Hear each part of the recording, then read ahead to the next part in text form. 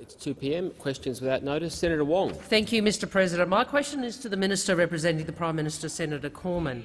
Can the minister guarantee that the government's deal with Centre Alliance will deliver domestic gas prices of $7 per gigajoule or less, as demanded by Senator Patrick? The Leader of the Government, Senator Cormann.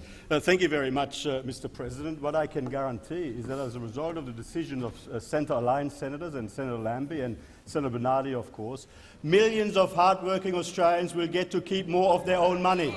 They order, get to keep more of their order, own money. Senator which is, of course, order. Fantastic. 12 seconds in and our first point of order. Senator Wong. I asked about gas prices. Um, and gas prices. And the, the, the, will the, the minister guarantee that the Prime Minister's deal with Centre Alliance will deliver domestic gas prices of $7 per gigajoule or less, as demanded by Senator Patrick? Um, I, I, will. How many times has order, Katie beaten you? Order. I, I will allow. The question was specific. It also referred to a deal. I will allow the minister more than 12 seconds to get to the specifics of the question. I believe he's being directly relevant at the moment. Senator Cormann. Uh, Mr. President, it's good to be back.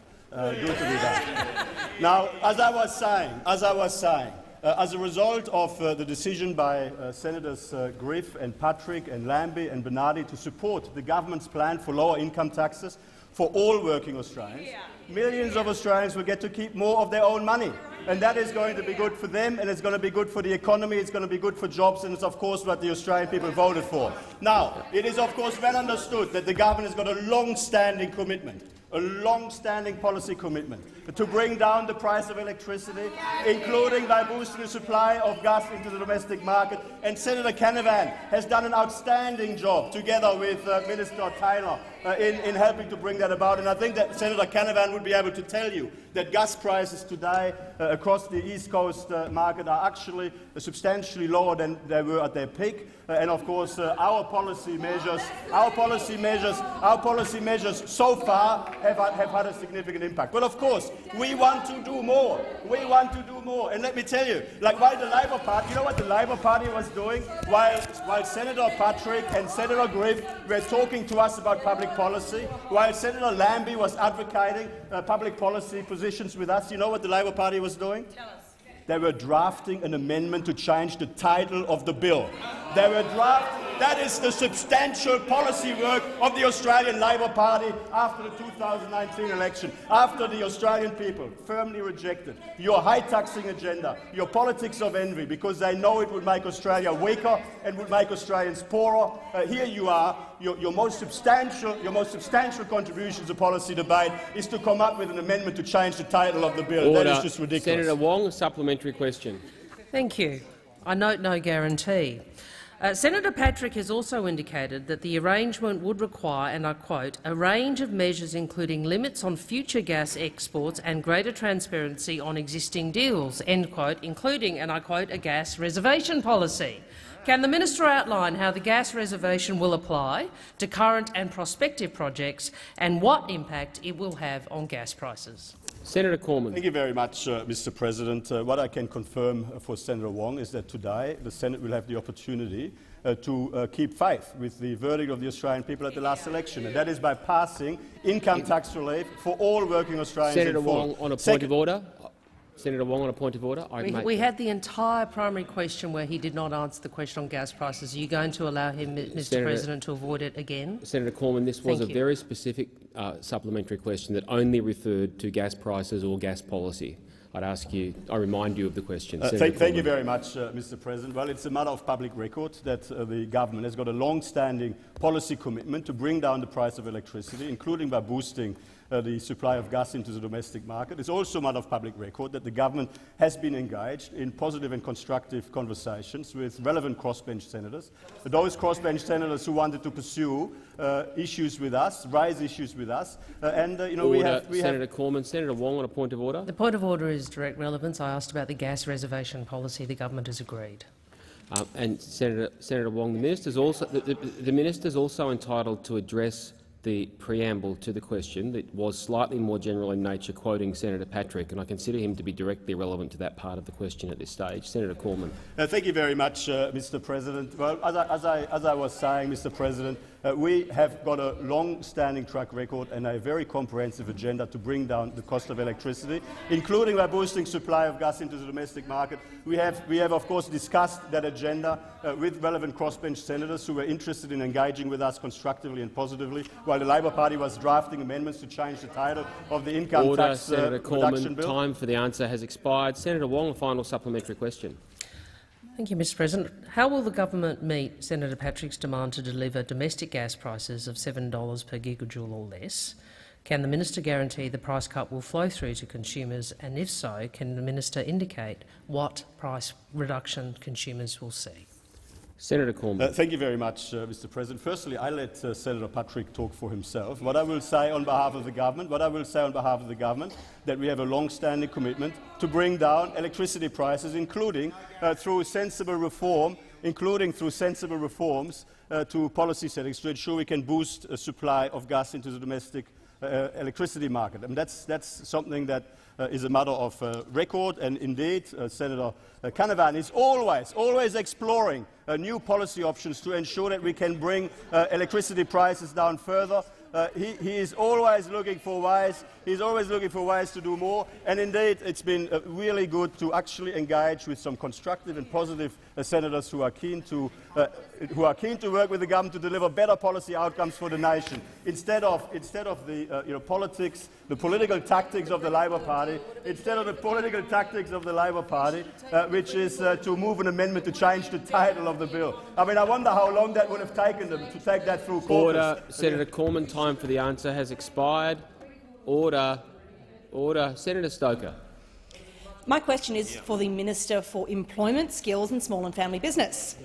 How do the results of the Australian labour force figures for the month of May demonstrate how the Morrison government is getting on with the job of delivering for the Australian people? The Minister. Senator Cash.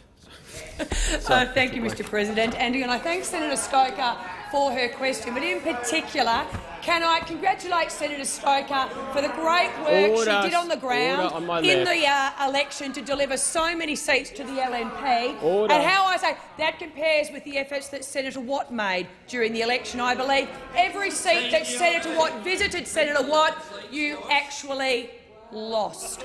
A lot of people owe their lack of being here Order. to Senator Watt. But, Mr President, we are a job-creating government.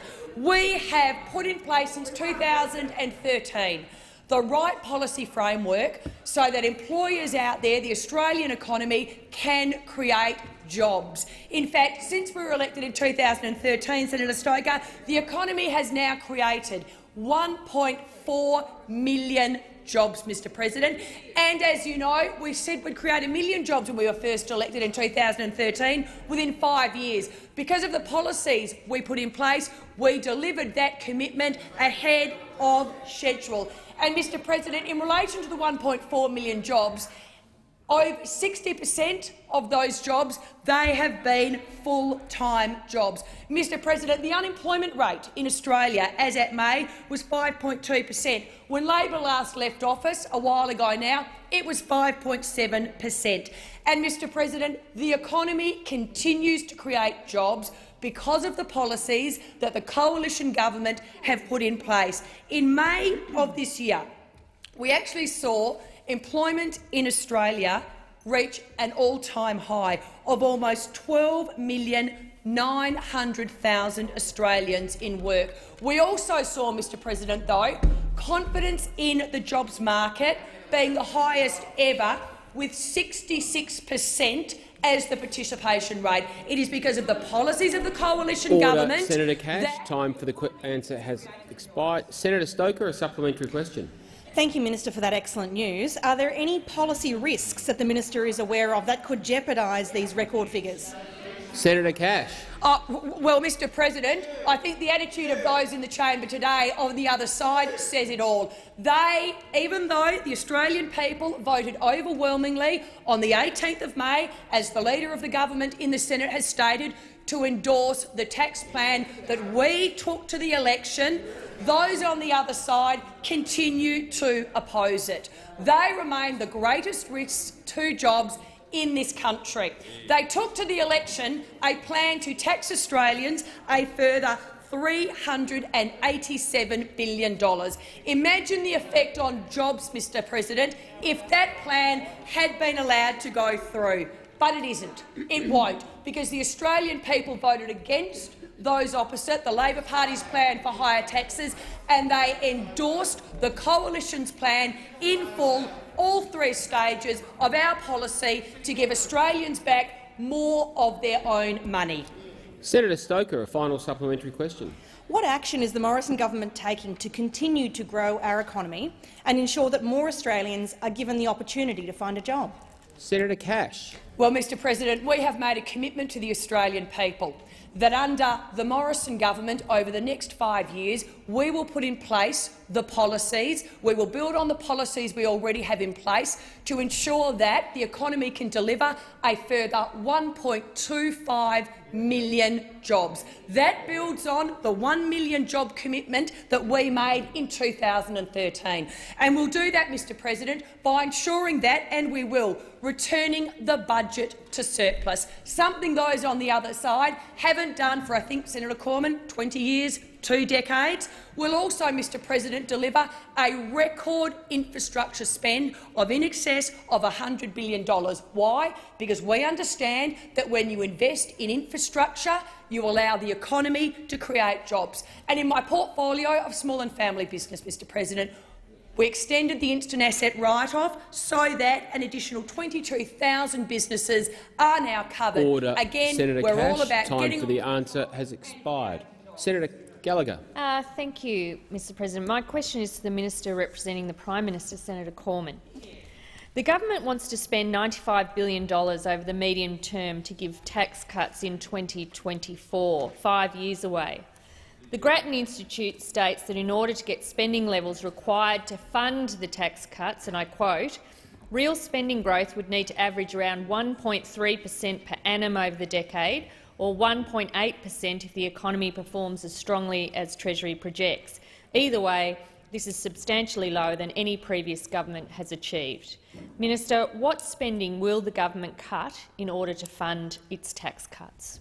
Leader of the Government, Senator Cormann. Thank you very much, uh, Mr. President. Uh, that claim by the Grattan Institute is wrong. Uh, it was, of course, it featured during the campaign. It was comprehensively discredited during the campaign, comprehensively discredited by the during the campaign. In fact, in fact, it was comprehensively discredited by nothing else than the pre-election economic and fiscal outlook, which made very clear, which made very clear that the uh, medium-term projections showing a surplus all the way through, and the medium-term projections which fac factor in our record funding for hospitals and schools and infrastructure and all of the other essential services, that that said that our, the cost of the tax cuts is factored in to that forward trajectory based on a no policy change scenario. A no policy scenario, no policy change scenario means there are no assumptions of future cuts, as you call it, no assumptions of future savings uh, enshrined in our budget bottom line whatsoever. I mean, this was comprehensively discredited. And I might just say, I might just say the only thing that was missing from Senator Gallagher's question there,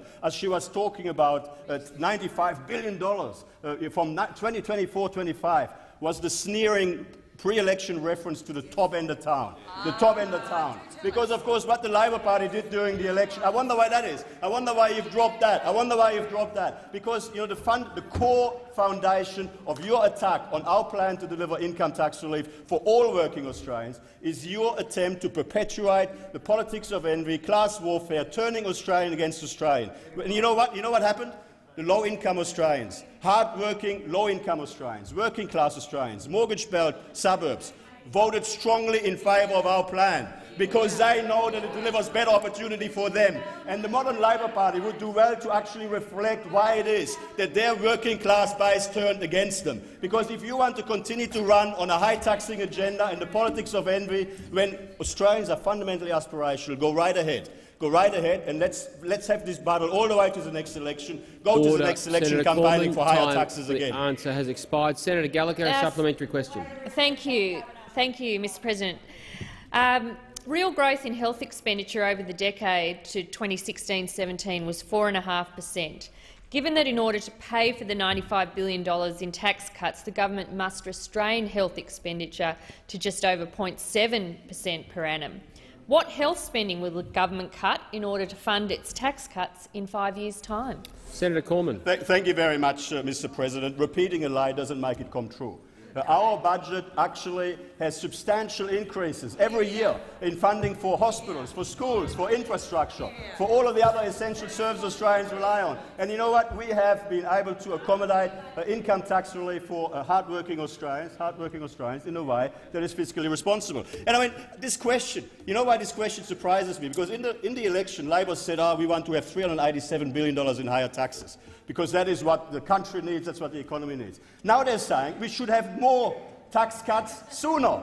More tax cuts sooner. So I mean, how is that going to add up? You actually you want to bring you want to bring tax cuts forward, like I mean, as if anyone believes that you actually believe in tax cuts. But how, how are you going to how are you going to balance the budget with that? How are you going to pay for hospitals and schools when you do all of that? I mean, your your position has got no credibility. You're all over the place. You've got more positions on tax than uh, in the Kama Sutra, quite frankly. I mean, this is like I mean, if, if we if we stay here for Order. another week, Senator Cormann, time for the answer. Order. Order. Order. I'll...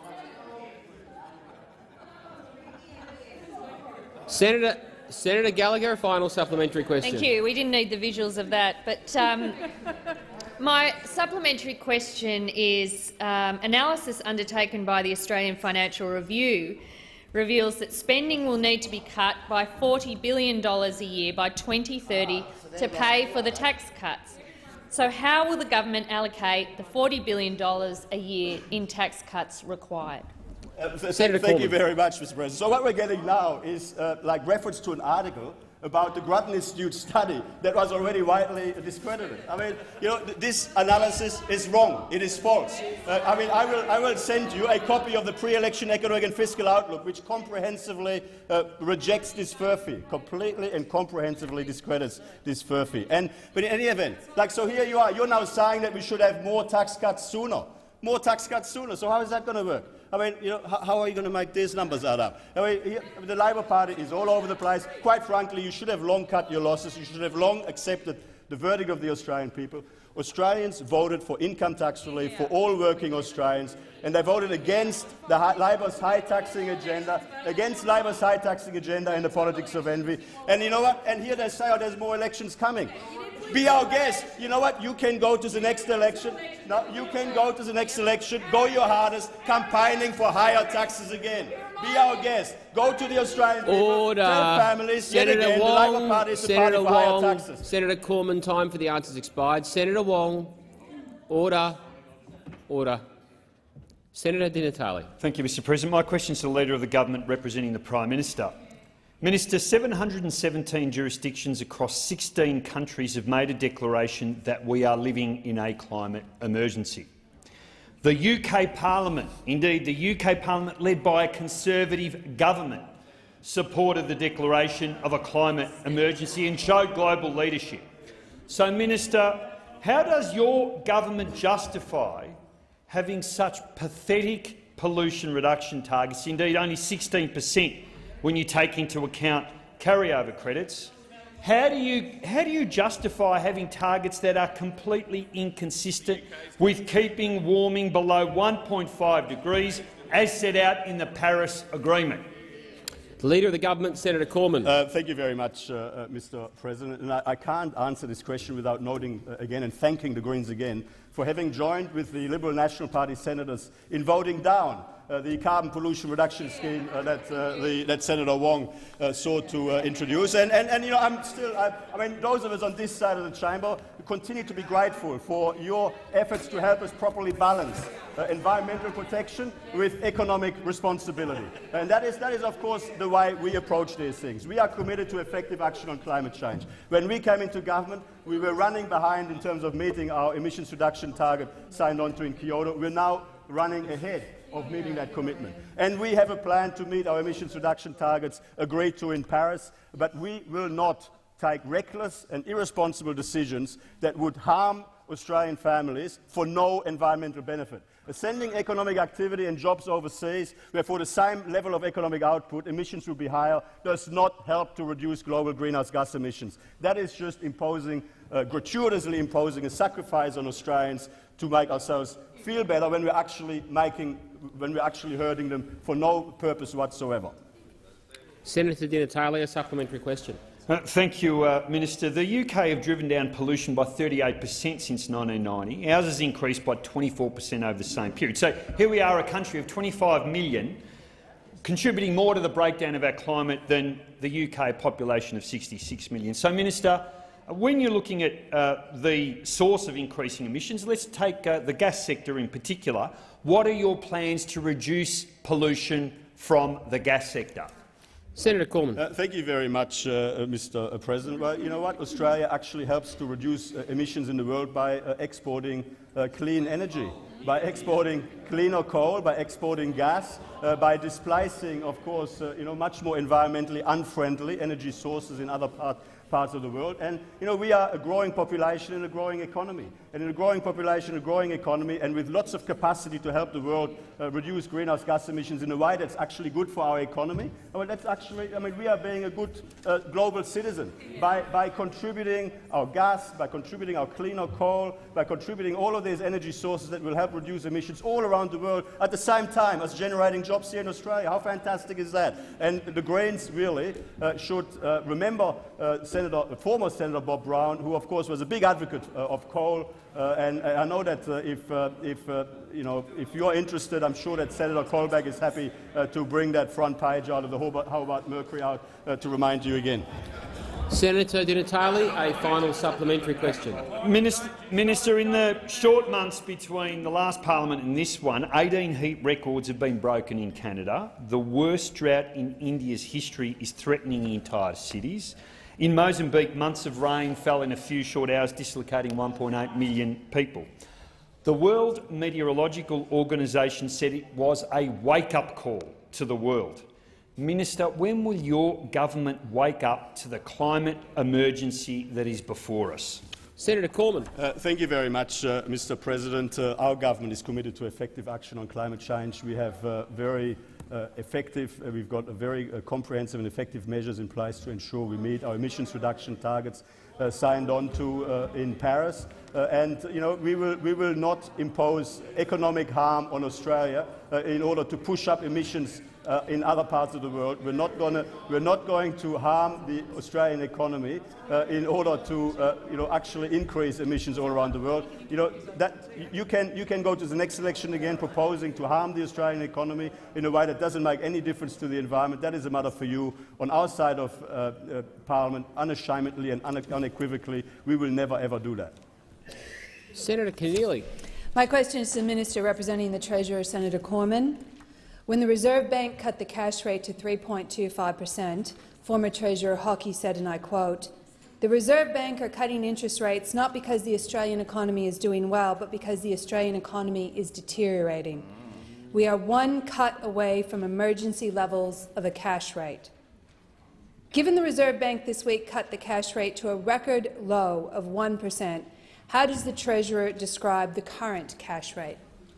The Minister representing the Treasurer, Senator Cormann. Th thank you very much, uh, Mr. President. Well, I mean, it's, it's no secret. It is absolutely no secret that the Australian economy is facing global economic headwinds and is dealing with some downside risks in the domestic economy. There's absolutely no secret at all, which is of course why Labor's agenda of higher taxes and the politics of envy was precisely the wrong way to go because it would have made our economy weaker. Uh, it would have put jobs at risk. It would have left all families worse off. And you know, I mean, in a way, in a way, we've actually won that policy argument because the Labor Party, having argued for $387 billion in higher taxes in the campaign, are now saying we should have more tax cuts sooner because that's the right thing to do by the economy. So, I mean, on one hand, you're saying we need more taxes for the economy, and we can't legislate tax cuts in the future because uh, that's bad for the economy. And now you're saying we need more tax cuts sooner, even though the budget can't afford that. Uh, so, ah, stimulus, stimulus, Senator, Senator Wong says, stimulus, stimulus. So, well, let, let me tell you what. We have, a, we have a plan to build a stronger economy. It is a plan that we took to the last Order, election. Senator Cormann. Senator Gallagher on a point of order. Uh, point of order. Thank you, Mr President. The question was very direct. It asks how the Treasurer describes the current cash rate. We haven't got to that point yet. Well, you reminded the minister of the question, uh, and I call Senator Cormann to continue. Uh, th thank you very much, uh, Mr. President. In Australia, monetary policy and fiscal policy is absolutely heading in the same direction. Of course, we are focused. Our budget is a pro-growth budget. Our budget, over the last two financial Order. years, we have put forward $302 billion worth of income tax relief for hard-working families. Hard work, $302 billion worth of income tax relief. $100 billion infrastructure investment pipeline. And indeed, and indeed, and indeed, of course, uh, you know, the Labor Party is arguing in favour of higher taxes, which really their current proposition uh, maybe that might be position five or seven, I don't quite know the page. But uh, the current position is to have, to have lower taxes because that helps the economy. But they're arguing at the same time that we should have higher taxes in case there's trouble in the economy down the track. I mean, the Labor Party position on tax and on, on economic policy makes no sense at all. I think you need to go on a retreat and seriously think about it and see what your consensus Order. position actually is. Senator, order.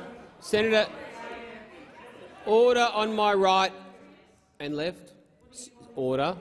I'll call Senator Keneally when I can hear her. Senator Keneally. Thank you. I ask a supplementary question. Former Treasurer Hockey also said, and I quote, we have had the extraordinary situation where the Reserve Bank has cut interest rates to record lows and consumer confidence falls. And why?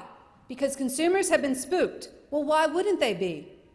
Given the Reserve Bank has cut the cash rate to 1 per cent, is it any wonder consumers are spooked and consumer confidence is falling? Senator Cormann. Uh, thank you very much, uh, Mr. President. It is true that uh, on the back of uh, a lot of media reporting, which turned out to be quite misguided, uh, that a lot of Australians were concerned about the possibility of a, a Labor government, uh, which would have had a very negative effect on the economy. They were concerned about the retiree tax and the housing tax, higher taxes on investment, and you know, all of the other higher taxes that Labor were pursuing, which is why, of course, they voted for our uh, agenda of lower income taxes for all working Australians all working Australians. And that is, you know, we are, we are getting on with the job, we're getting on with delivering what we promised we would deliver to the Australian people to build a stronger economy and secure Australia's future. Senator Keneally, a final supplementary question. Mr Hockey also said, and I quote, if anyone thinks that the Reserve Bank acted today because the economy is doing really well, they'd be deluding themselves. Will the minister admit the economy is facing a crisis, or is he deluding himself? Senator Cormann.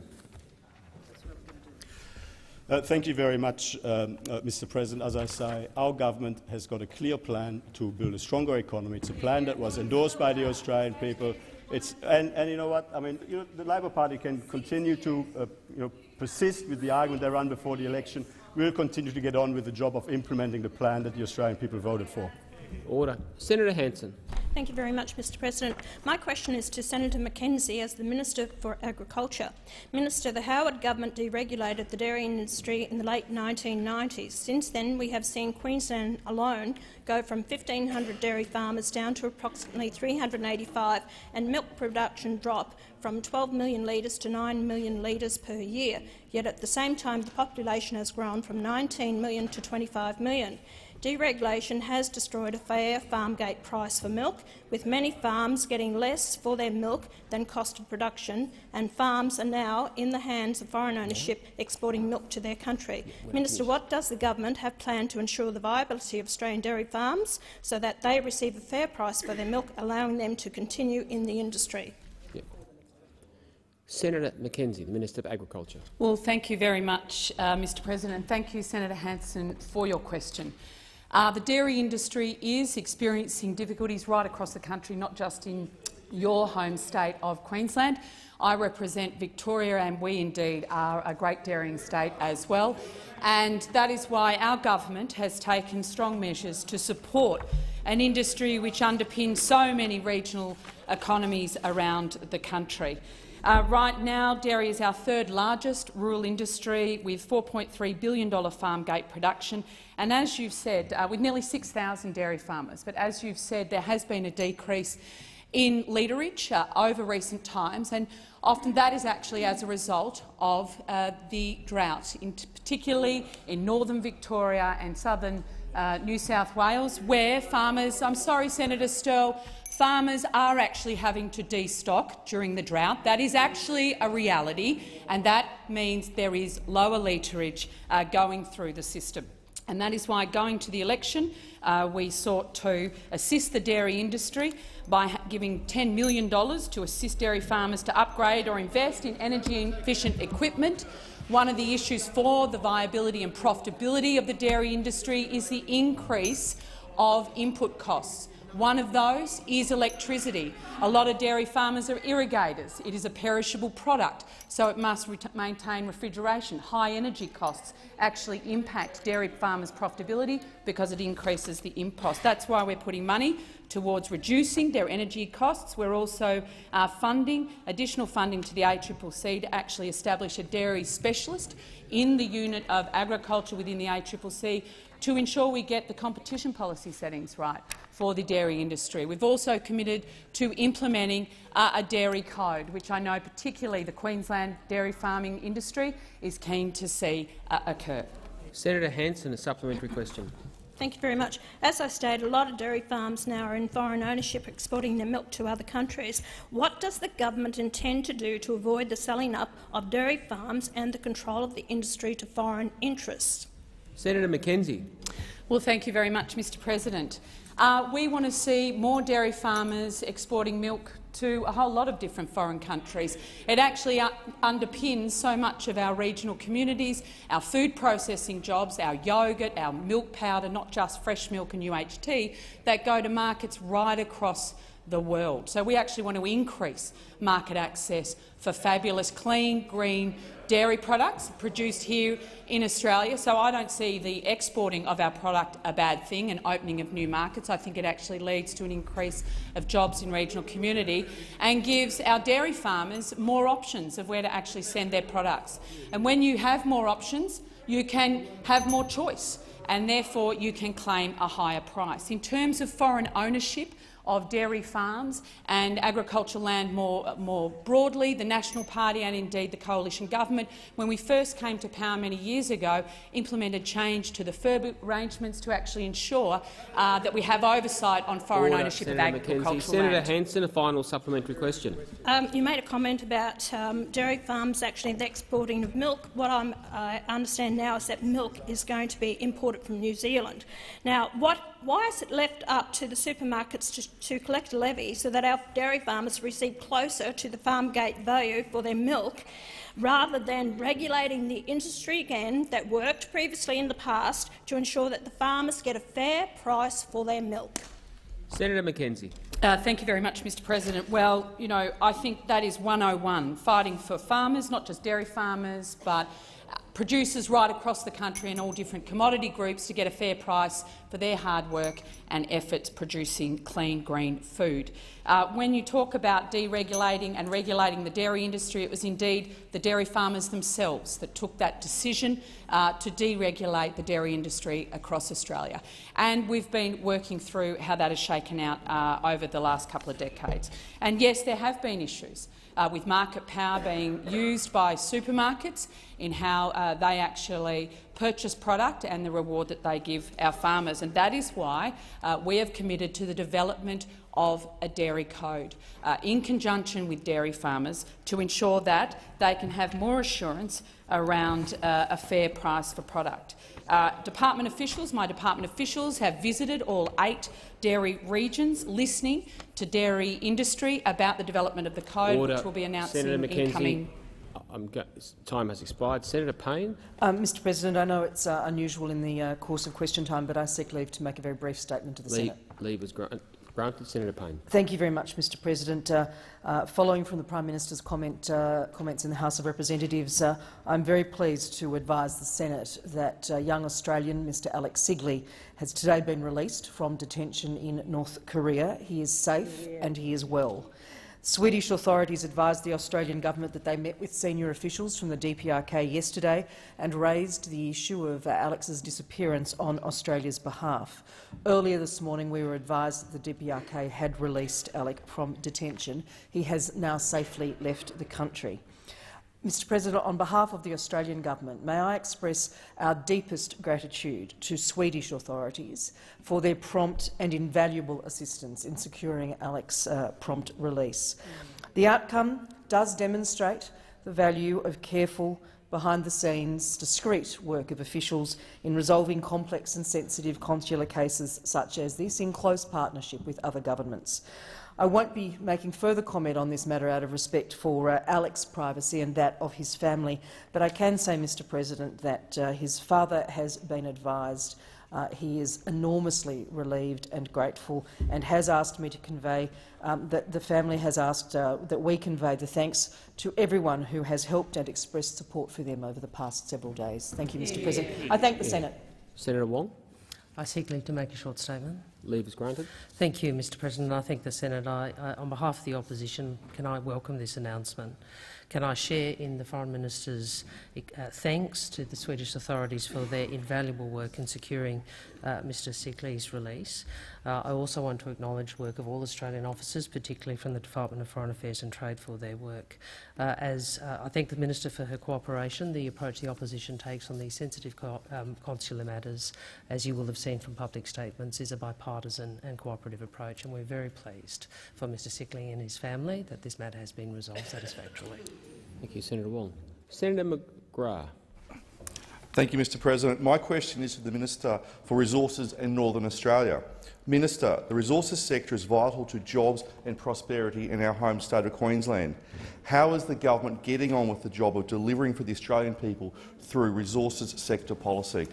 Senator Canavan. Thank you, uh, Mr President. I thank Senator McGrath for his question and recognise his long-standing support for our great well-being resources sector. Mr President, we on this side of the chamber know how much the mining sector delivers to our country uh, in terms of jobs, in terms of wealth, in terms of prosperity, and that's why we have no shame, Mr President, and they're never ashamed to defend and support that sector and want to see it grow and back those projects. And, Mr President, this week the figures from my department show that the resources sector has smashed another record, that this financial year the resources sector will export the value of $285 billion worth of products on behalf of our nation, smashes the record that was set last financial year at $275 billion. It, the, these figures show, Mr President, that over 10 years, every year, the resources sector will be exporting a larger volume of resources uh, for 10 years straight. Every year a new record being set. The resources sector in this country are delivering more records than the Beatles, Mr President. They continue to deliver year on year on year for our country, and that's why we support them. We didn't need, Mr President, we didn't need uh, uh, the Australian people to give us a spanking at the election to remind us about how important the mining sector is. I notice now there's a number of people, there's more people here in this parliament uh, since we were here last time, supporting the resources sector, That's supporting right. coal mining, and that is fantastic, Mr President. I am so, uh, well, so welcome so much the result of that election. Isn't it amazing, though, that there's taken uh, uh, is taken 15 million odd Australians to have their say, for the Australian Labor Party to realise that maybe, just maybe, the mining sector might be important to our country's wealth, prosperity and people's livelihoods. We don't need uh, to have that result, Mr President, because we live in these regions. We work in these regions. We talk to people who wear orange, yellow and pink fluoro colours. We know what their lives mean, and that's why we support and back them, Mr President. That's why we support the opening up of the Galilee Basin. That's why we support the opening of the Browse Basin in West Australia. That's why we support the continued continuing development of resource markets right around the world. Senator McGrath, a supplementary question. Yes, Mr President. What can governments do to make sure mining and resources continue to generate wealth and jobs for Australians in the future? Senator Canavan. Uh, well, thank you, Mr President. Uh, uh, Mr President, uh, one concerning thing around the figures that were released this week is that that record-breaking run I mentioned uh, is about to plateau and uh, would likely in the next three to five years possibly start declining, so we won't be exporting more volumes every year, year on year, because, Mr President, we have been relying on the significant investments that were made over the last decade during the mining boom. And of course, unless new investments are made year on year, eventually uh, you start to decline in terms of the production. So we have had a production boom, an investment boom, followed by a production boom. What we need to do is now support new investments in resources. We need to make sure that we don't have nine-year delays on projects like the Queensland Government has presided over on the Adani Carmichael coal mine. Good that that's going on now, but the Queensland Government is now ranked, Mr President, in the Fraser Institute rankings on uncertainty of environmental regulation they are ranked 49th out of 83 jurisdictions in the world. They're behind Russia, PNG and Congo. That's why we're leading a charge in COAG to do benchmarking on environmental regulation around the mining sector to make sure we facilitate investments in Order. mining, not put more Senator hurdles in front of them. Senator McGrath, a final supplementary question. What would be the consequences of failing to take advantage of Australia's natural resources? Senator Canavan. Well, thank you, Mr. President. Um, well, Mr. President, the consequences would be felt by people. They'd be felt by people who largely live in smaller towns and country areas of, of our nation. Uh, not only in those towns, though. Uh, Brisbane and Perth are the biggest mining towns in our nation, uh, where hundreds of thousands of people rely on the sector for their jobs. But you know, I, I, I very much uh, keep in front of my mind people like Kel Appleton, a publican at Clermont, uh, who has said that the opening up the Galilee in central Queensland is, he's, he's quoting him, he says, it's our chance to have the things city people take for granted, things like a strong, stable income and hope for your children. Uh, or the words of Anne Baker, who's a, who's a proud member of the Labor Party, the mayor of the Isaac Shire, who I caught up with recently. She says, she wrote a few months ago, that the Galilee Basin would help fund schools, hospitals and public services, not only across our state but also across this country. And with that in mind, she added that can all levels of government afford for the Galilee Basin not to open? Mr President, these are the people that are at the front of our minds when we seek to support the resources sector so they can have a better future for their children and we can make our country a stronger place. Before I come to the next question, I draw to the attention of honourable senators the presence in the chamber and gallery of a parliamentary delegation from Fiji, led by the Honourable Aiyaz Sayed-Khaiyum. On behalf of all senators, I wish you a warm welcome to Australia and in particular to the Senate. Senator Faruqi. Thank you, Mr President. My question is to Minister Birmingham, representing the Minister for Education. Minister, in the last three years, your government has slashed the repayment threshold for study loans by nearly 20 per cent, in effect cutting the pay of low-income workers. Just this week, the government slugged another 136,000 Australians by cutting the threshold by another $6,000. How does the government justify giving tax cuts to millionaires while they punish low-income workers for studying? The Minister representing the Minister for Education, Senator Birmingham. Well, th thank you, Mr President. I thank the senator for her question. Uh, of course, uh, I'd make the point in her question uh, that, firstly, uh, Senator, uh, you need to appreciate, of course, that students who leave university uh, and get jobs or leave other forms of study that they leave with a student debt and get jobs uh, are students who then go on and pay taxes. And those students will benefit from there being lower taxes. And they'll have those benefits long after they've repaid their student loans, and those benefits will help them through their lives uh, to be able uh, to buy their homes, to establish themselves, uh, to save for their retirement, to support their families, to pursue all of those sorts of things that you expect graduates to seek to do in relation to the help scheme itself, to our student loan scheme, that, Mr President, as this chamber, I think, should know and should acknowledge is one of the most generous schemes in the world. It's one of the most generous schemes in the world that allows Australians to go to university for an undergraduate degree and face no upfront fees whatsoever, to take on a loan that has no real interest rate whatsoever, no additional fees whatsoever attached to it, and then to only pay that back at reasonable income levels. What this government did, yes, uh, the senator is right, is lower the starting threshold, but we also implemented a newer, lower first repayment rate too. Uh, and so there is a new 1 per cent repayment rate uh, that, from memory, uh, uh, Mr President, it's a little while since I knew all of these statistics off by heart, uh, but from memory equates to around $8 a week. Uh, in terms of repayment uh, of student loans for those who first reach that threshold. We did also make sure that for graduates earning higher incomes, they repay their loans faster by putting in place higher repayment rates at higher incomes, because that's the way you sustain the most generous student loan scheme in the world. Senator Faruqi, a supplementary question. Minister, every single person the government has targeted by these unfair changes to study loans is a low-income worker who already faces low wages, growing underemployment and the increasing cost of living.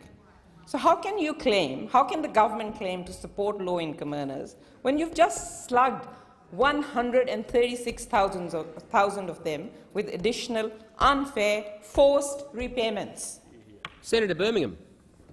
Well, thanks, Mr President. Uh, obviously the perils, of course, and there are many new senators in the chamber, the perils when you uh, have your supplementary question already written and you don't change it or vary it when you hear the answer.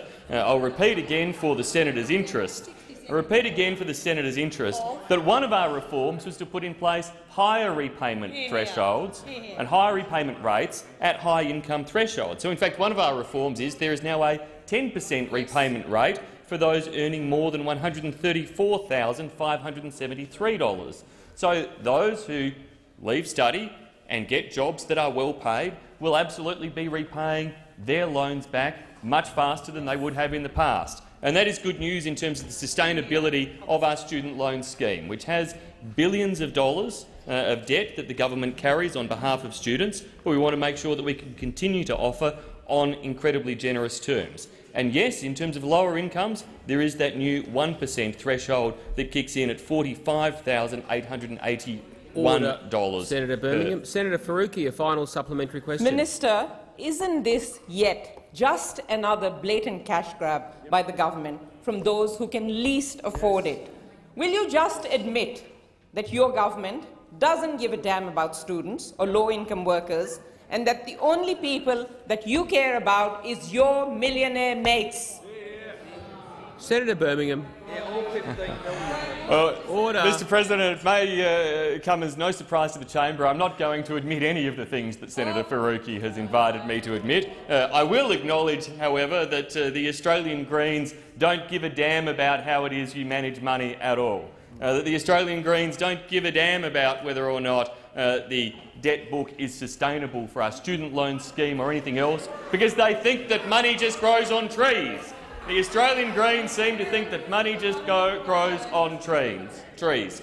What our government will do, Mr President, has done is make sure that we can, as a country, continue to afford to provide the most generous access to university and to study options without upfront fees for those students and we preserve and maintain that by making sure that we have a student loan scheme where the bulk of those funds are repaid so that it is sustainable for generations into the future. That's who we're looking after.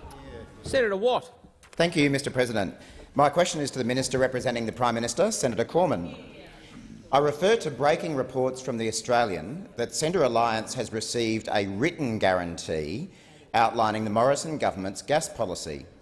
Does the written guarantee provide a guarantee that the price of gas will be reduced to $7 a gigajoule, as promised this morning by Senator Patrick? If so, will the minister be upfront with the Senate and undertake to table a copy of the written guarantee in this place? Minister representing the Prime Minister, Senator Cormann. Uh, thank you very much, Mr. President. I think it's always prudent not to believe everything you read in the newspaper. It's not always, not always, it's always prudent not to believe everything that you read in the newspaper. Um, as I, I would, I would oh, sorry, refer, you, sorry, would, thank you. I would, I would refer you to uh, my consistent statements uh, in recent weeks, uh, when I've always made the point and then, of course, we're prepared to engage constructively with those uh, non-government senators who want to engage with us in relation to policy issues of concern to them and their constituents.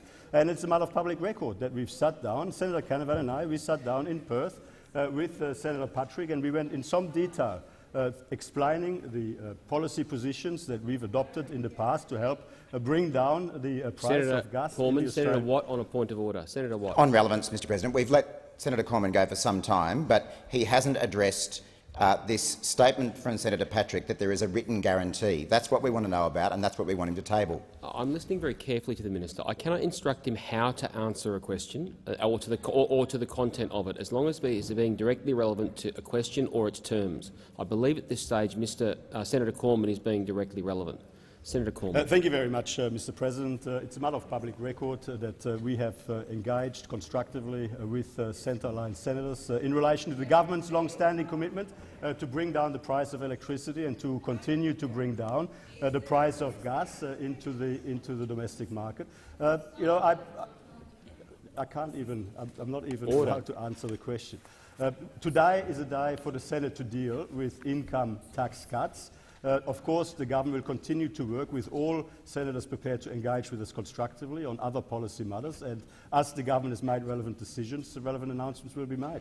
Senator Watt, supplementary question. Thank you, Mr President. I'll make this supplementary question very simple for Senator Cormann. Is there a written guarantee that gas prices will fall, as has been promised by Senator Patrick? Senator Cormann. Well, again, I let Senator Patrick talk for himself. The, on, the only guarantee that the government, Order. the only guarantee the government is providing is that we will, we will deliver income tax relief for millions of Australians. We will deliver income tax relief for millions of Australians, and we will continue to work in good faith and constructively uh, to pursue the government's Senator long-standing. Cormann, Senator Watt, on a point of order. Mr. Mr. President, again, Senator Cormann is not answering the question, which is very simple. Is there a written guarantee? It's a yes or no question. Uh, I can't instruct the minister how to answer the question. The question, however, was about gas rather than other elements of policy. Um, so you've reminded the minister of the question. Senator Cormann. Uh, thank you very much, uh, Mr. President. Uh, as I've indicated uh, to the Senate, uh, the government is very grateful uh, that Senators Patrick, Lambie, Griff and Bernardi are supporting our plan for lower income taxes for all working Australians, as endorsed by the Australian people at the last election. And we will continue to work in good faith and constructively uh, with uh, non-government senators who want to engage with us around measures to bring down the cost of electricity and to boost domestic supplies of gas into our domestic market. Senator Watt, final supplementary question. Thank you, Mr President. We can only assume that the answer is no, based on Senator Cormann's previous answers. But Senator Cormann has ruled out doing any special deals in order to legislate the government's tax package. Given it's clear the minister has in fact done special deals, isn't it clear that his word is worth just as much as his guaranteed support for former Prime Minister Malcolm Turnbull? Senator Cormann. Very much, uh, Mr. President. Well, I can confirm that there are no special deals. There are absolutely no special deals. What we are doing, and as I've, what we have said, what we have said consistently, what we have said consistently is that we would work with non-government senators in relation to public policy, public policy issues, public policy issues, public policy issues, and we are seeking, we are seeking to secure alignment. We are seeking to secure alignment with non-government senators around important public policy priorities, and indeed the government has got a long-standing policy priority to uh, deliver lower electricity prices, lower gas prices, and we will and we will continue we will continue to work with uh, senators in relation to these matters. But these decisions have to stand on their own merit. They've got to be taken on their own merit, and they will continue to be taken on their own merit. Senator Fawcett. Thank you, Mr President. My question is to the Minister for Trade, Tourism and Investment, Senator Birmingham. Minister, how is the government getting on with delivering for the Australian people by helping Australian businesses benefit from trade, tourism and investment opportunities with our G20 partners? And how does this help to create a stronger economy that guarantees the essential services that Australians rely on? The Minister for Trade, Tourism and Investment, Senator Birmingham. Thanks, Mr President. I thank uh, Senator Fawcett for, uh, for his question, and I know his very deep uh, interest and indeed knowledge, of course, in, uh, in all matters of trade, foreign policy and, uh, and defence. And I'm pleased to uh, inform Senator Fawcett and the Senate that Prime Minister Morrison, in at the recent G20 meetings of leaders in Osaka in Japan, delivered strong messages to the G20 about the importance of maintaining and modernising a consistent, rules-based framework to facilitate trade and investment flow uh, between Australia and other nations, but indeed right across the globe. This is critically important because one in five Australian jobs are trade-related. Indeed, 2.2 million Australian jobs depend upon our trade relationships and trade activities as a nation. Uh, and trade growth has been a engine, an engine behind the type of jobs growth that Australia has seen that Senator Cash was speaking about at the commencement of question time. Indeed, one quarter of Australia's economic growth over the last five years is estimated to be attributable to our growth in trade and export activity.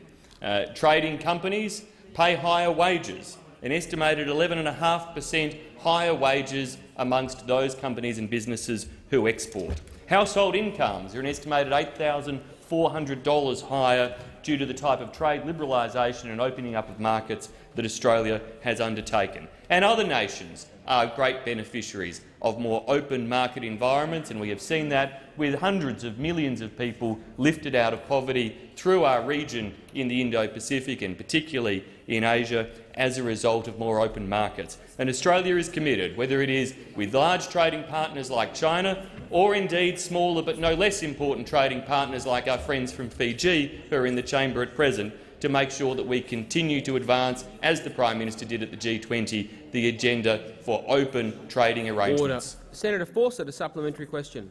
Thanks, Mr President. Will the minister inform the Senate about the key outcomes for Australia that were advanced through the meetings that were conducted at the G20 summit? Senator Birmingham.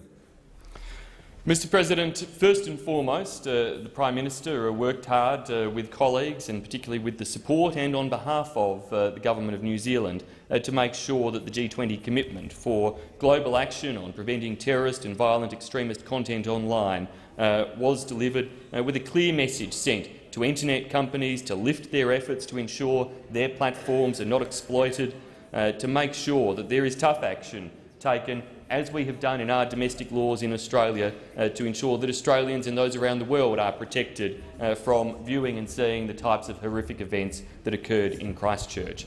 But we also saw, in relation to the trade front, uh, strong work in relation to the Osaka track uh, that was launched by Japan, which complements the e-commerce negotiations we're pursuing and leading uh, through the World Trade Organisation to modernise trade rules and to ensure they reflect modern trading arrangements, as well as direct pursuit uh, of trade negotiations with the European Union, uh, with our RCEP Order. counterparts and with Senator our other Birmingham. major trading Senator partners. Senator Fawcett, a final supplementary question.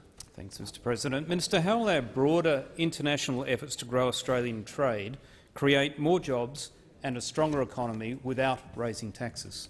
Senator Birmingham. Mr President, opening up our trade markets, as our government has consistently done over the last six years with our trade agreements struck with China, Japan, the Republic of Korea, the TPP and continuing to build on other partnerships, is paying and delivering dividends for Australia. Just yesterday, the Australian Bureau of Statistics released data that showed that Australia had recorded a record trade surplus for the month of May this year of some $5.7 billion. That record trade surplus is fuelled by record levels of exports from Australia. And indeed, the five largest monthly trade surpluses ever recorded in Australian history have all been delivered in 2019. This is a demonstration that, as a country, we are yielding benefits of growing exports into markets, particularly where we have trade agreements in place, and that growth in exports is fuelling business growth, jobs growth, fueling the opportunity for us to see revenue growth, which ultimately allows us to balance a budget and pay for tax cuts and tax relief Order. for hard-working Senator Australians. Birmingham. Senator Kitching. Thank you, Mr President. My question is to the Minister representing the Prime Minister, Senator Cormann. Former Minister for Defence Christopher Pyne announced he had taken a position with EY, stating that he was, and I quote, looking forward to providing strategic advice to Ernst & Young as the firm looks forward to expanding its footprint in the defence industry. In response, the Minister for Trade, Tourism and Investment, Senator Birmingham, warned that, and I quote, everybody should adhere to that code of conduct, and that includes Christopher. I note the statement made by Minister Cormann to the Senate earlier today. When did the Prime Minister invite his secretary, write to his secretary asking him to investigate Mr Pyne's employment with Ernst & Young?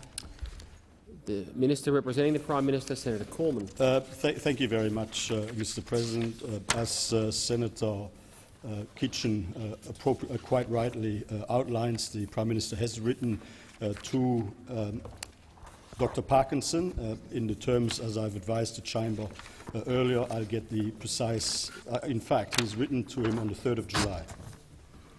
Senator Kitching, supplementary question. Thank you, Mr. President.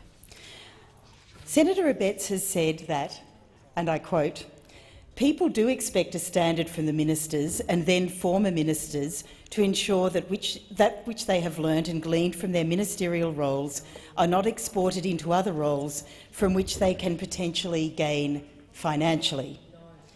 Has the Prime Minister or his office discussed Mr Pyne's employment with EY with Mr Pine? If so, when and with whom did the discussion take place? Senator Cormann. Uh, thank you very much, uh, Mr. Uh, President. I'm aware of a public statement that uh, former Minister Pyne uh, issued uh, in relation to some of these other matters. I take them on notice.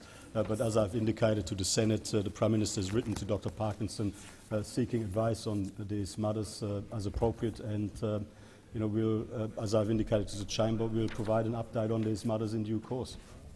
Senator Kitching, a final supplementary question. Thank you, Mr President. Liberal member for Barker, Tony Pasin, has said that, and I quote, what I do know is the fact we're talking about is indicative that it just doesn't pass the pub test. While the Prime Minister's secretary is investigating Mr Pyne's employment with Ernst & Young, what arrangements are in place to ensure Mr Pine does not take advantage of information obtained due to his former ministerial responsibilities? Senator Cormann. Uh, thank you very much, uh, uh Mr. Uh, President. Uh, there is absolutely no indication that former Minister Pyne is or has or is acting uh, in breach of the Statement of Ministerial Standards, but the Prime Minister uh, has uh, sought advice in relation to these matters, as I've indicated to the Chamber. Uh, and, uh, order. You know, Senator Cormann. Senator Kitching on a point of order. My question was not whether there had been or had been a breach. My question was in relation to what arrangements are in place to ensure that there uh, not yeah, one. I cannot instruct the minister how to answer the question. He's been speaking for 18 seconds. I consider him directly relevant, but I'm listening. Senator Cormann. Uh, well, as I've indicated to the Chamber, the Prime Minister sought advice from Dr Parkinson and uh, you know, we'll prov I'll provide an update at the appropriate time. And uh, with that, uh, I ask that further questions be placed on a notice paper. Uh, Senator Wong. I seek leave to move a motion uh, requiring a minister to table a document. Is leave granted? Leave is not granted. To contingent notice, I move that so much of the standing orders be suspended as would prevent me moving a motion to provide for the consideration of a matter, namely a motion to give precedence to a motion requiring a minister to table a document. The document in question is the document which sets out the deal with Centre Alliance uh, on gas prices, about which questions have been asked in this chamber today. And let us be very clear. Let us be very clear. Both in the House of Representatives, when Mr Taylor was asked questions, and today, and today in the Senate, uh, when the Leader of the Government in the Senate was asked questions, there was an utter, an utter refusal by the government to give any details of this special deal, this special deal with Centre Alliance. Uh, that is a deal that, that, Senator Patrick has been very clear and upfront with the newspapers that he has achieved in return for his vote on the tax cuts. And I just would remind the government that. Senator, Senator Patrick has said to newspapers that his party has received a written guarantee outlining the Morrison government's gas policy which the key, key minor party demanded in exchange for its support for the $158 billion worth personal income tax cuts package. Uh, the draft gas policy, signed by the government, was given to Centre Alliance senators last night ahead of a crucial vote in the Senate today on tax cuts. Well, I think the Australian people and this Senate are entitled to see a copy of a gas policy which is supposed to deliver, as Senator Patrick asserts, $7 per gigajoule, which is supposed to deliver uh, lower prices to consumers, uh, which is supposed to deliver uh, uh, gas prices uh, in South Australia that are lower, uh, and which the government is, is keeping secret. Well, I think the, the, Australian people and this chamber are entitled to see the detail of this secret deal. Senator Patrick is out there spruiking it to the newspapers. Minister Taylor and Minister Cormann in the House of Representatives and the Senate, respectively, uh, are dancing around the answers and refusing to provide answers on this question. Now, I also want to make this point to Centre Alliance and to Senator Patrick. Senator Rex Patrick, Senator Griff, uh, I hope you come in here and, consistent with your party platform around transparency and accountability, vote for this suspension of standing orders so as to enable the document to be tabled. Because uh, Centre Alliance's uh, public platform is they believe in transparent and accountable government. I think it's pretty reasonable for a party that believes in transparent and, and accountable government to require a government to tell the Australian people what their policy is. I think that's pretty reasonable. That's pretty transparent, pretty accountable. And the second point I'd make, and this is the point about the ethics of it, Centre Alliance has made clear, and they're entitled to do this, they've done an, made an agreement with the government to vote for the tax package. Uh, we don't agree with stage three. We've explained why. We, we agree with stages one and two, but not stage three, and we've explained our position. But if the Centre Alliance party has traded their votes for a policy, I think it is incumbent upon them to outline what that policy is. It is incumbent upon them to outline what this policy is. So I look forward to Senator Patrick and Senator Griff coming in here and voting with the Australian Labor Party and I hope other parties in this place to require the government to table the document that Centre Alliance is talking to the media about. I mean, this is the extraordinary thing. The document that Senator Cormann doesn't want to acknowledge the existence of, that he doesn't want to ask questions about, that he has ducked and weaved on throughout the entirety of question time today, well, Senator Patrick has been out there chatting to the media. So it's fine. We've got the media saying, oh, this is what's in the document, but the Senate can't see it. The Senate can't see it and the Australian people can't see it. We just get Senator Patrick spruiking his deal. Well, if it's such a great deal, if it's such a great deal, I'm sure Senator Patrick Senator Griff will vote for this motion to ensure uh, that the government actually tables the document. That is government policy. That is government policy, because what has occurred, what has occurred is a deal has been done about government policy, and you ought to front up to the Senate, Senator Cormann, and tell people what the policy actually is. You ought to front up to the Senate and tell them what you're doing in order to get these votes. Uh, you're the one that said no special deals. You're the one that said no special deals. Well, you're given a special deal. Now, that's fine. Uh, it's up to you if you want to do that but I think it is incumbent upon the government and Centre Alliance to provide to this Senate and via the Senate the Australian people the details of the gas policy, the gas policy changes that you have agreed in order to get their votes. Now, this document is out there. This document has been signed by, gov by government. This document is being spruiked by, by, by Senator Patrick as the thing he got for his vote. Well, table the document front up and table the document. It's the right thing to do. Senator Cormann. Thank you very much, uh, Mr. President. Firstly, uh, Senator Patrick has advised me that the uh, story uh, that is written by Rosie Lewis is incorrect, and no doubt he will explain uh, himself. No doubt he will explain that to the chamber at the appropriate time. Furthermore, I mean, there is, there is absolutely, there's absolutely nothing there's no stone that the Labor Party would leave unturned in order to prevent Australians from getting a tax cut. There is no stone that the Labor Party will leave unturned to prevent working Australians getting, keeping more of their own money in their pocket.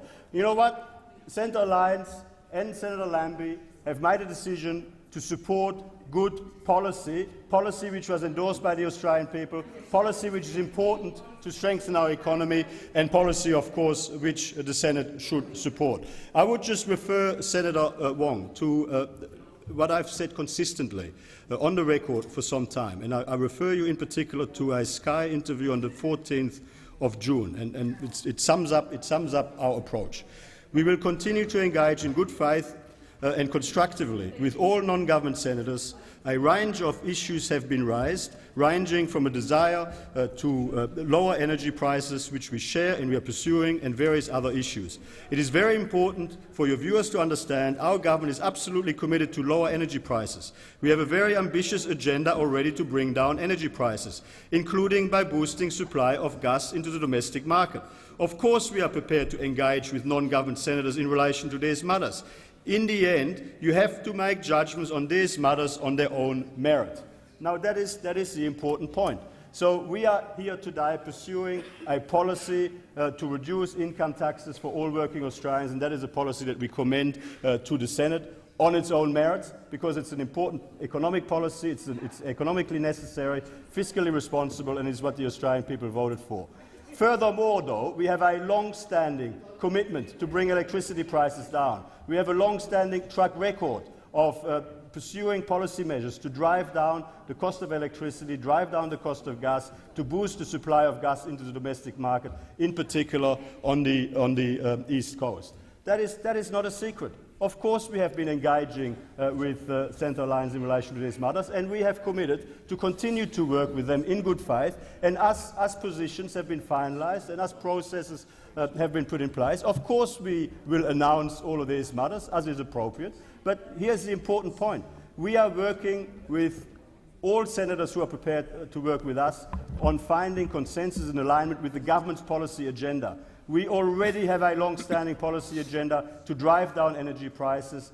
That is well and truly understood. It's well and truly on the public record. And when we're in a position to make further announcements about further policy initiatives uh, in the future, of course we will do that at the appropriate time. But this is, this is nothing but the Labour Party trying to uh, prevent the, the, Parliament, trying to prevent the Senate uh, from dealing uh, with um, important legislation to deliver income tax relief to all working Australians. I think that everyone can see through what this is about. Uh, I think the Senate just, just, should just get on with it, should deal with the uh, legislation that's in front of us, deal with the amendments, uh, and uh, make sure that by the end of next week, work, millions of working Australians, millions of working Australians uh, can get, keep more of their own money in their own pockets. Senator Watt. Thank you, uh, Mr President. Um, well, this story about what kind of a deal has been done between the government and Centre Alliance just continues unravelling by the minute. Uh, the latest comments that we've just heard from Senator Cormann are that Senator Patrick has now retracted his claims that he has a written guarantee from the government.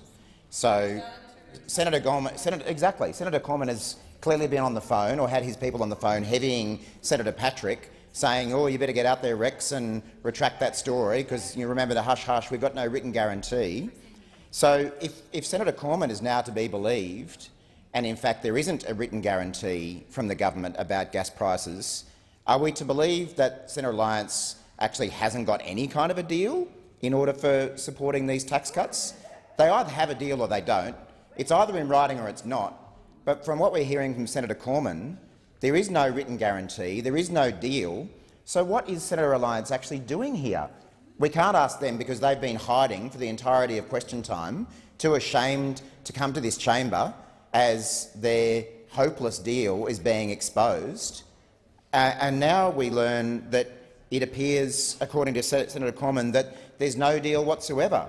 So I, I have to say I am thoroughly confused about what Centre Alliance are up to and what they are going to get out of this deal for the Australian people. I mean, one of the reasons I'm confused is that I heard Senator Patrick on AM this morning being interviewed by Sabra Lane, and he was dodging and weaving about her questions about what effect this would actually have on gas prices, but she finally managed to pin him down when she asked, so, people on the east coast, including South Australia, can expect that their prices will be $4 cheaper in 12 months or so. Senator Patrick, I think probably a realistic measure is something of the order of about $7 per gigajoule. Currently, we're paying about $9 per gigajoule. So Senator Patrick has been in the media this morning making a promise that gas prices on the east coast are going to fall by $2 per gigajoule, which means that households using their gas appliances in South Australia, in Queensland, in North New South Wales, Victoria, other states and territories on the, on the east coast will get a gas price reduction. But now we're starting to find out that, in fact, there's no such deal. So, I mean, what, can someone just tell us what Centre Alliance is actually getting out of this? They're about to sign up to they're signing up to tax cuts from this government which are going to remove $158 billion in revenue from the federal budget over the next few years. They're, they're, they're about to give away $158 billion of public money that is needed to fund all sorts of other services in their home state of South Australia. And while I would disagree with them doing a deal that might do something about gas prices, now we're finding out that they actually don't even have a deal. So I'm very much looking forward to hearing Centre Alliance over the course of the day try to explain to us and to the South Australians who voted for them what on earth they have managed to get out of the government in return for rolling over and backing in $158 billion of tax cuts. I mean, the article that we're referring to is crystal clear that uh, it was published around question time. Centre Alliance has received a written guarantee outlining the Morrison government's gas policy, which the key minor party demanded in exchange for its support for the tax cuts. A copy of the draft gas policy which has been signed by the government, was given to Centre Alliance senators last night ahead of a crucial vote in the Senate today. I mean, that's not something you make up. There's clearly a draft gas policy. Senator Canavan's here. He can probably illuminate us about this. He was probably involved in drafting this gas policy. He's also party to this deal, and he's, he's, by, by forming this deal, he is also promising people in his home state of Queensland that their gas prices are going to fall, $9 a gigajoule down to $7 a gigajoule. So I look forward to all those people in Rockhampton thanking Senator Canavan for the gas price reductions that he's promised them. And, oh, here's Senator Patrick. Now he can maybe tell us. Senator Patrick, have you done a deal or have you haven't? Have you, have you done a written deal or have you not? Have you done a verbal deal or have you not? Because we were told that you had, and now we're being told that you haven't. So we'd quite like to know what you've done. I mean, you're about to give away $158 billion in tax cuts. No, no. What I'm, what I'm interested in knowing, what I'm interested in knowing is what anyone is getting for this. So you're not. So there's no guarantees. There's no guarantees Order, about gas prices. Watt. You should time, think about that. Time has expired. Order. Se order. Order. I'll call Senator Patrick when there is order. Senator Patrick. Thank you, Mr President. I have heard uh, what's been said in the chamber over the last uh, um, 10 or 15 minutes. I'll just explain to you what, uh, what has happened. Um, uh, Senator Cormann came down to Adelaide a, a, few weeks ago, had a bit of a chat, had a, had a, bit of a chat to us about uh, things that would be of, that were of concern to us. We raised a number of issues, one of which was energy prices. That won't be surprising to Senator Wong. She knows that uh, uh, electricity prices in South Australia are the highest in the country. Um, Senator Cormann then invited me to come across to Western Australia to sit down with Senator Canavan, uh, which we did, and we started talking about uh, uh, ways in which uh,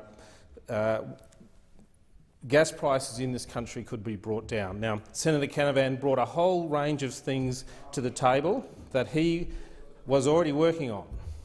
We talked about a number of things. Order.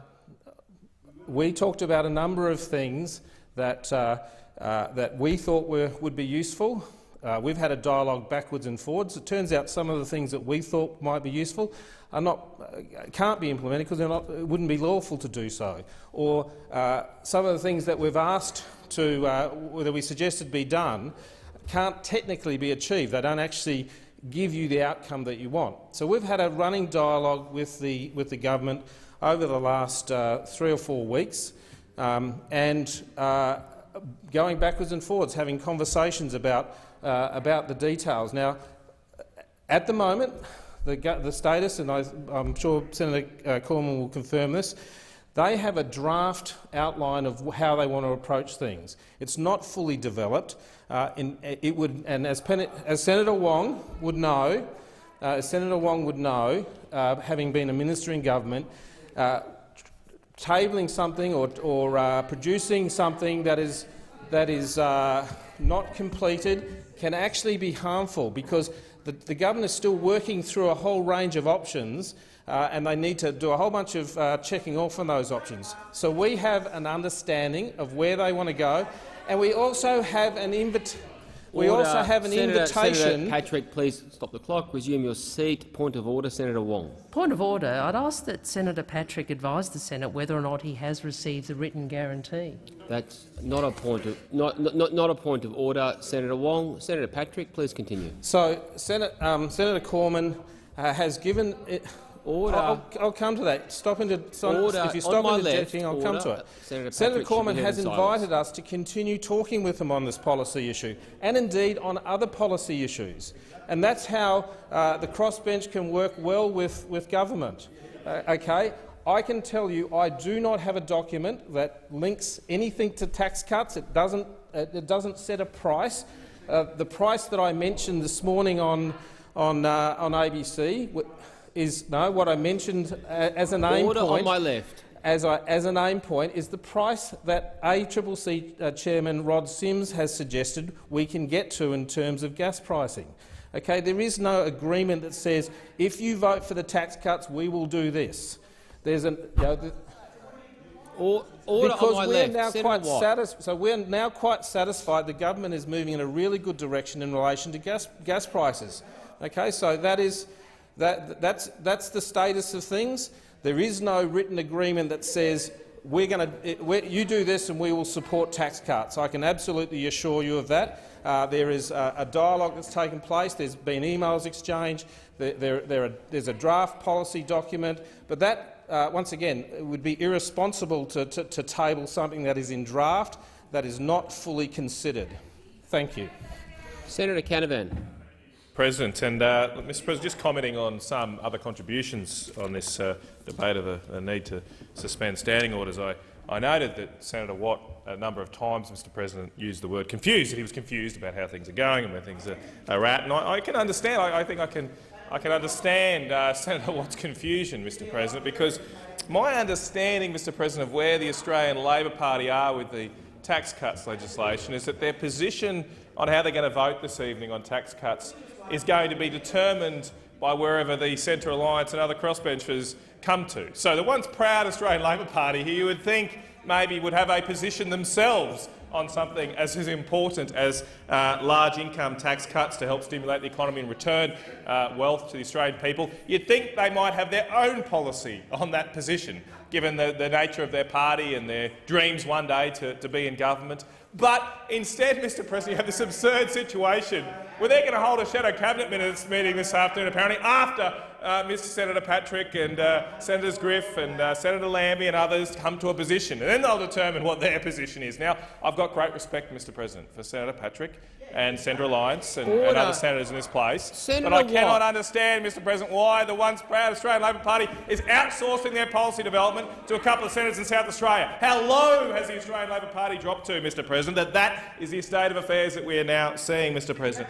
This suspension order, this suspension motion, Mr President, has nothing to do with policy. It has nothing to do with transparency. It has nothing to do with good government, Mr President. This motion is just a way for the Australian Labor Party to prevent and stop Australians having tax cuts. That's what they are trying to do this afternoon. Order, they are Senator trying to Wong. delay having to come to a position themselves, trying to delay Australians getting the benefit of a tax cut, Mr President. And that's why this suspension motion should be rejected, Mr President, because we should deal with these matters that are important, that were uh, central to the recent federal election campaign. Uh, we should get back to the job of dealing with those and those substantive matters right now. Mr President, um, as I have said in the last couple of weeks, the Australian government takes seriously the need uh, to have competitive gas prices in this country and to do so in a way which continues to attract investment in gas supply. Mr President, we have, uh, in my view, in the last couple of years approached this important matter in a considered and diligent fashion. We've also done so in a collaborative way with all stakeholders, with the users of gas in this country, many conversations and meetings with gas users, manufacturing users of Australia, uh, uh, the Energy Users Association of Australia, as well as gas producers as well. Uh, and that approach has led, Mr President, to, in the last two years, gas prices, wholesale gas prices have fallen by 20 uh, per cent. We've gone from a situation two years ago where the Queensland coal seam gas industry was barely supplying gas for a few months to the rest of Australia in, in net terms, uh, to today Queensland coal seam gas supplying 25 per cent of the East Coast market, uh, over 100 petajoules a year. It's been a very good outcome for our gas markets. It's provided a lot of gas into the system, albeit I recognise that our prices are still much higher than they were before, Mr President. And on that front, we, we, the two years ago, when sorry, sorry, six years ago, when when the trains and, and Gladstone started to be built and constructed, when the Australian Labor Party were in government, no one, no one, no one looked at whether or not uh, building six trains in Gladstone and establishing a massive gas industry, a gas export industry, would have, and what effect that would have on the domestic market. No one looked at this. In the, in in the time since uh, the Shadow Energy Minister of the Labor Party, Mark Butler, said that everybody knew at the time gas prices would go up, yet they still did nothing back in 2012 when they approved these projects. Now, Mr President, we don't want to see that happen again. That's why we have been the first government to put in place export gas controls. We've done so in a methodical way, as I've said. We've done so in a way that will, conti will, continue to make any developments in this area in that fashion. What we won't do is the kind of ad hoc response the Australian Labor Party is adopting. They've had, Mr President, in the last two weeks, the Australian Labor Party have had three different positions on gas. Two weeks ago, uh, their Shadow Minister for Resources, Joel Fitzgibbon, told Fran Kelly on Radio National that We want a bipartisan approach to this. It's too important for politics. We want to be part of the solution, not part of the problems. I've already had discussions with Matt Canavan on this issue, and we need to together, work together to get it right. I agree and support those sentiments. Then today I come to the chamber and Senator Pratt moves a motion to trigger gas export controls today. Do it today. That's not exactly bipartisan. That's completely inconsistent with your own shadow minister. You're a complete and utter rabble. And then also today, Matt Keogh, uh, you're a member for Burt, uh, said on Sky News when he was asked about gas triggers and gas reservation, he said, I think it's a concern. We want to see the detail of this because I don't want to see the government doing that creates a sovereign risk. And then his own senator comes in here from Western Australia and moves a motion to create sovereign risk. It is an absolute rabble, the Australian Labor Party, Mr President, and that is why we should deny this motion. Senator Chisholm. Thanks, Mr President. Well, what a performance we had there from Senator Patrick. He likes to have two middle names that he's built his reputation on, transparency and accountability. Well, that has completely gone out the window here today. His performance of how he's come in here to try and justify this was completely lacklustre, absolutely lacklustre. So never again will the Labor Party be lectured to by Senator Patrick on transparency and accountability. He's the one who's done the deal, and he's the one who's refusing to explain it, and we will absolutely hold him to account. Because there's bigger things at stake here. There's the tax cuts, which we are expected to vote on today. Uh, we know that they are worth $158 billion. So the Senate are expected to vote on that today, and we don't know what you, deal you've done. Uh, and this is more than just the tax cuts, because whatever deal you've done will have an impact on policy across Australia, and particularly in my home state of Queensland. So it is absolutely unacceptable that you do some sort of deal and then you don't actually come in here and explain it, and it's absolutely reprehensible that Senator, Canavan hasn't explained it to the people of Queensland as well. Um, because we know in Queensland that these sorts of things around gas have a significant impact. And the only state that's actually done anything about gas prices over the last couple of years has been Queensland. None of what Senator Canavan has talked about has actually had an impact. It's been the Queensland government that's actually been delivering and ensuring that producers in Queensland have the gas that they need. No better example of that than Incitec Pivot. Senator Canavan didn't have a role in that, but it was the Queensland government that was making sure that there was new gas being um, provided so that those workers could be looked after at Incitec Pivot. The Queensland Labor government, Canavan was absolutely missing when it came to that. But we also know that when it comes to Senator Cormann, and when I got into work today, I was in a bit of a bad mood, so to get some cheering up, I put on Sky News, which always gives me a bit of a boost. And there I heard Senator Cormann uh, talking about uh, his arrangement with the crossbenchers, saying he had no deals. Uh, and I heard him talk about it in relation to Senator Lambie. I heard him talk about it in relation to the Centre Alliance. But as we know um, from previous experience, and former Prime Minister Turnbull learnt this the hard way, um, Senator Cormann is always doing things behind the scenes. And there's no doubt that he's come to an arrangement here uh, with Senator Griff uh, we know that there's a pretty cosy relationship between their offices, but they are not being upfront with the Australian people, and that is of a concern, from, particularly for me in Queensland, because I know this does have an impact in that area. Uh, so what we need to know is the impact that this will have on Queensland, uh, what sort of arrangement they've come to and what that will do for jobs in Queensland. Uh, I know that manufacturers across the country are crying out for a solution around gas. Yet we have seen no details, uh, no evidence about what this impact will have for those workers and for those businesses, let alone for future investment. Um, so we know how important gas is for both uh, feedstock and also the jobs that go with that. So we've got no sense from the government, from Senator Patrick, who came in here and did not explain uh, what was going to be done. Uh, so overall, uh, this is completely unsatisfactory that uh, tonight we are expected to vote on these tax cuts. Uh, we're expected to um, just let this go, where uh, Senator Patrick won't, won't, outline what deals have been done with the government. Uh, Senator Cormann is saying that there is no arrangement in place uh, and the Australian people are being hoodwinked. Uh, well, it is not good enough. the Australian people absolutely deserve better, and we will continue to hold this government to account and we'll continue to hold Senator Patrick to account and never again will we be lectured to him on accountability or transparency ever again. Senator Birmingham. Well, Mr President, this Labor Party, look at them, look at them. Talk about being so committed to a high-taxing, high-spending agenda that they will do absolutely anything to try to stand in the way of the Australian people getting the tax relief that the Australian people voted for at the election just on May the 18th. Just on May the 18th. And here we have a Labor Party who come into this Senate chamber and they will try to twist Order. and contort Senator and Birmingham, take points Senator of Wong order. on a point of order. I'm happy to withdraw my motion if you table the deal and we can get on with the Or- debate. Senator Birmingham, please continue. It's no deal. Mr President, indeed. These answers have been well addressed, uh, indeed, by Senator Patrick himself, by Senator Cormann, but you've got a Labor Party uh, who just want to find any justification for their hopeless inability to support tax cuts for hard-working Australians. That's what this is about. They're running around looking under rocks, desperately hoping to find some reason that justifies the fact that they can't bring themselves to vote for tax cuts for hard-working Australians.